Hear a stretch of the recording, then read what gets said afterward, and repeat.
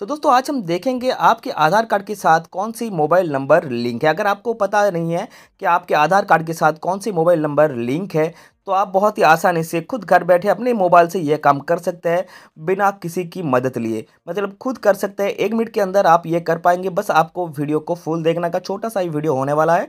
तो चलिए, वीडियो को शुरू करेंगे। उससे पहले वीडियो को आप लाइक करें और चैनल पर अगर नए हैं तो चैनल को सब्सक्राइब ज़रूर करें, ताकि इसी तरह की इन्फॉर्मेटिव वीडियो के अपडेट सबसे पहले आपको मिल जाए। इसके लिए सबसे पहले आपको कोई भी ब्राउज़र ओपन कर लेना, जैसे कि आप देख सकते हैं, यहाँ पे मैंने क्रोम ब्राउज़र को ओपन कर लिया। और यहाँ पे मैंने लिखा है यू आई डी ए आई लिख के सर्च किया तो ये वाला वेबसाइट सबसे पहले आ गया वेबसाइट का। यहाँ पे आप देख सकते हैं U I D A I G ओ भी डॉट इन तो यहाँ पे आपको ये वाला वेबसाइट के ऊपर क्लिक करना है। तो मैंने इसके ऊपर क्लिक किया तो यहाँ पे यहाँ पे लैंग्वेज सिलेक्शन करने के लिए बोल रहा है तो मैं यहाँ पे, मैं इंग्लिश ही कर देता हूँ। तो इंग्लिश मैंने कर दिया। अभी यहाँ पे आपको क्या क्या ऑप्शन चूज़ करना वो आप ध्यान से देख लीजिए।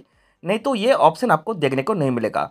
थोड़ा सा यहाँ पे लोडिंग चल रहा है क्योंकि आपको पता है कि ये जो आधार का जो वेबसाइट है, वो यहाँ पे सर्वर के ऊपर डिपेंडेंट होता है। मतलब सर्वर अगर डाउन रहता है तो ये काम नहीं करेगा। तो मैं आपको सजेस्ट करूँगा सुबह दस बजे से लेके शाम के पाँच बजे तक के अंदर आपको ये काम करना है। मतलब अगर आपको फ़ोन नंबर पता करना है कि आधार कार्ड के साथ कौन से नंबर लिंक है तो आपको ये काम करना है। तो आपको यहाँ पे दो एक बार ट्राई कर लेना, आसानी से हो जाएगा। जैसे कि आप देख सकते हैं, ये मेरा हो गया, दो बार क्लिक करने के बाद।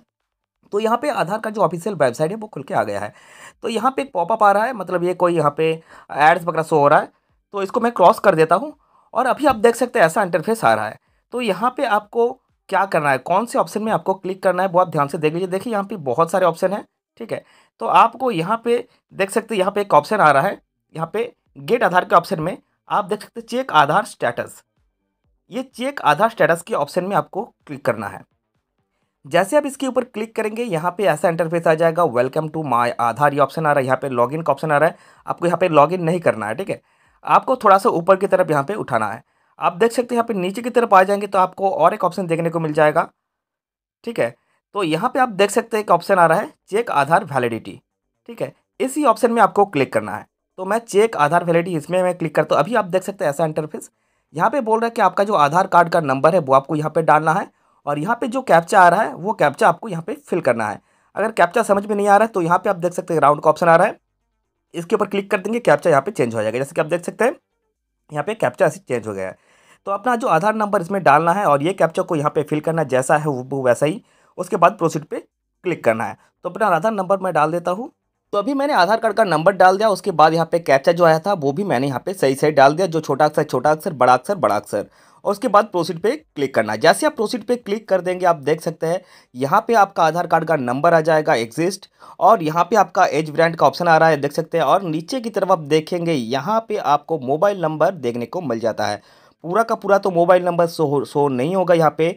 तो आपको यहाँ पे देख सकते तीन नंबर आपको यहाँ पे मिल जाएगा। मतलब आपकी जो मोबाइल नंबर है, उसका आखिर का तीन नंबर आपको दिखाई देगा।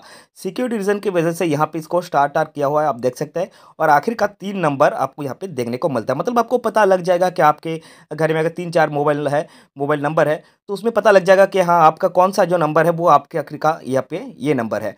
तो आपको आखिर का तीन नंबर देखने को मिल जाकर आप पता लगा सकते हैं बहुत ही आसानी से कि आपके आधार कार्ड के साथ कौन से मोबाइल नंबर लिंक है। फिर भी अगर ये जो प्रोसेस है वो करने में कोई भी दिक्कत आता है तो कॉमेंट बॉक्स में कॉमेंट करेंगे, मैं आपको ज़रूर हेल्प कर दूँगा। तो आज की वीडियो में इतना ही था, फिर मिलेंगे और एक नए इंटरेस्टिंग वीडियो के साथ। वीडियो को लाइक ज़रूर करें फ्रेंड से ज़रूर शेयर करें। चैनल पर अगर नए आए हैं तो चैनल को सब्सक्राइब ज़रूर कर दें।